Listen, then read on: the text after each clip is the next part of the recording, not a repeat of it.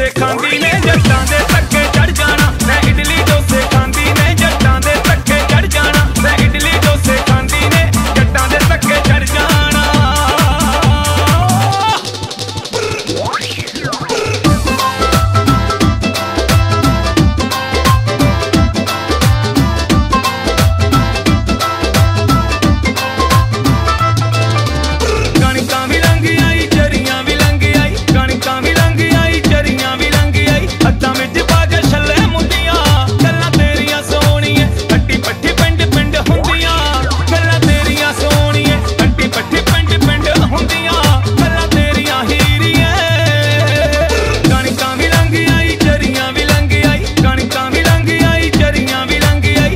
but you